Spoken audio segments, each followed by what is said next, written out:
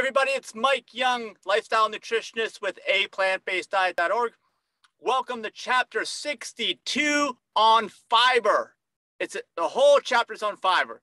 And you're probably wondering already why there's not a whole chapter on protein because there hasn't been, but that's next. That's, but this one's more important. I'm putting fiber up front, just like I put raw foods in front of cooked foods, because we want to talk about the positive stuff, the most important things up front. Let's get the negative stuff out of the way, actually. First of all, hardly anybody gets enough fiber. And don't think you can get the fiber from any other way than from eating whole plants, whole plant fiber, all right? Don't think about pills, no pills, no metamucil or whatever the, the heck that stuff is.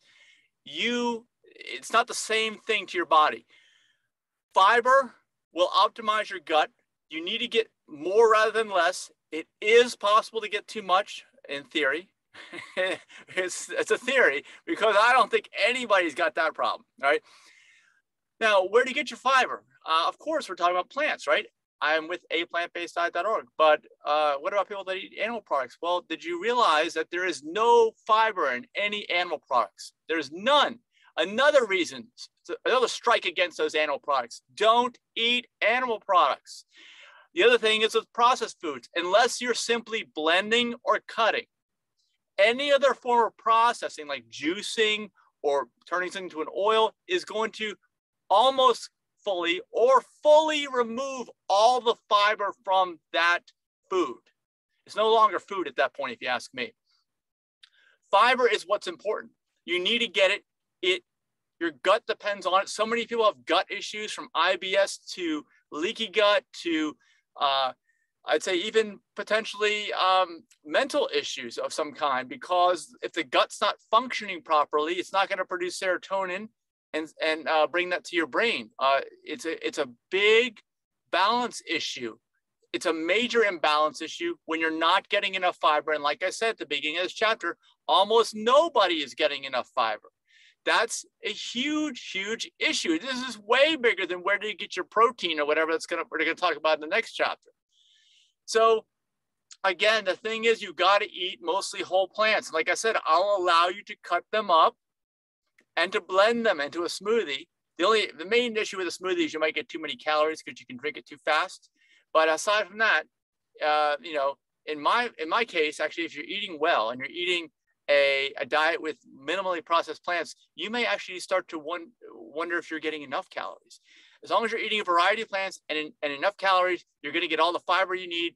It's going to be great. It's perfect. It's, this is the way your body was designed, the way nature designed, the way the whole plant, the design of plants to, to, to grow and to produce this fiber and to harm, harness the energy and the sun and the water around it and the, the soils. This is what you want. And that fiber is the absolute thing. That's the one thing you can only get it in plants. Okay and you it, you cannot manufacture it to an equivalent basis. It's got to get into your body from those plants. And also another benefit of fiber is that it, it's voluminous. It takes up a lot of space. And you know what happens? When you eat it, it takes up a lot of space in your stomach. It takes up space in your stomach. And when it does, you don't feel like you're as hungry or ravenous or hangry or whatever you want to call it. You're not like that. And I'm not talking about the processed plant like animal product like foods that are plants. Those are all processed junk. Okay. I'm talking about the real plants. Okay. The real plants is what fills your stomach up. And everything works right because you don't gain the weight that the average Joe and Jane gains all the time. You know, I'm 52. I don't I haven't gained that weight. I don't think I'm ever going to gain that weight. I don't think I'm ever going to be above 160 ever, unless somebody knocks me on the head and I stop doing this lifestyle, something like that. But uh, the other thing is, if you weigh too much, you're going to start to lose weight rapidly. It's going to everything's going to get back into balance. The reason why people carry around too much weight is because of an out of a out of balance lifestyle. In 100% of the cases, it's an out of balance lifestyle. There is no question in my mind. The only question is, I mean, because overweight or obese, things like this, I know it carries a, a social stigma and like we don't want to be fat shaming anyone, which we're not. We are simply trying to educate because I think that what's happened now is because a lot of these foods are they're all legal all right? The only thing that's illegal is like some kind of uh, plant drugs or something like that but but the ones that are most harmful the, the, the processed plants or the animal products all this, these are all legal okay? That's the problem. Uh, there should be somebody a movement trying to ban these things if they are causing almost all the health problems. As i mentioned in earlier chapters most health problems are caused by the food. And I, am not talking about just most, like 51%, I'm talking like 80%. And until we switch that around, this information is incredibly necessary. Please share it with anybody who is willing to listen, all right, with an open mind, because that's what that's all that's required.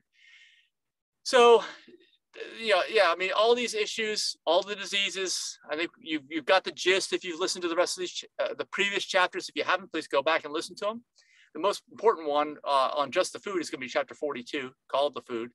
But the fiber, the fiber is the key. Don't worry about the protein. As long as you're eating a variety of plants, you're going to get it. The fiber is what you have to do.